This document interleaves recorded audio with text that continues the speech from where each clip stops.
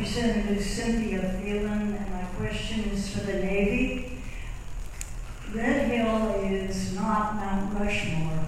Mount Rushmore has been carved in the mountains and lasts for centuries. Red Hill was built during World War II for the war effort and served that purpose. If you went out today to build those gas tanks at Red Hill, you would be prohibited from doing so Right. Under our environmental laws. So my question to you is, when is the Navy going to ask Congress for funding to study decommissioning the tanks?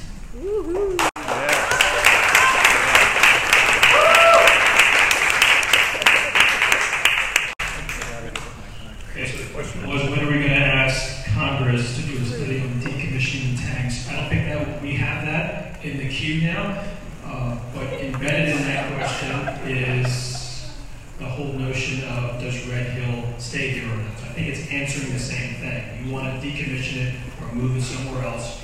Part of To this, AOCSOW, to do this study, take, take your first step to do this study. right? You have to ask Congress for the money. I don't ever hear that being talked about by the Navy.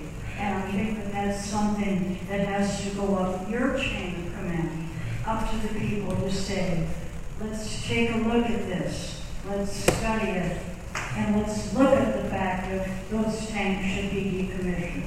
They are totally illegal under present environmental law. Where's our Department of Health? I'm sure they know Yeah, that. really.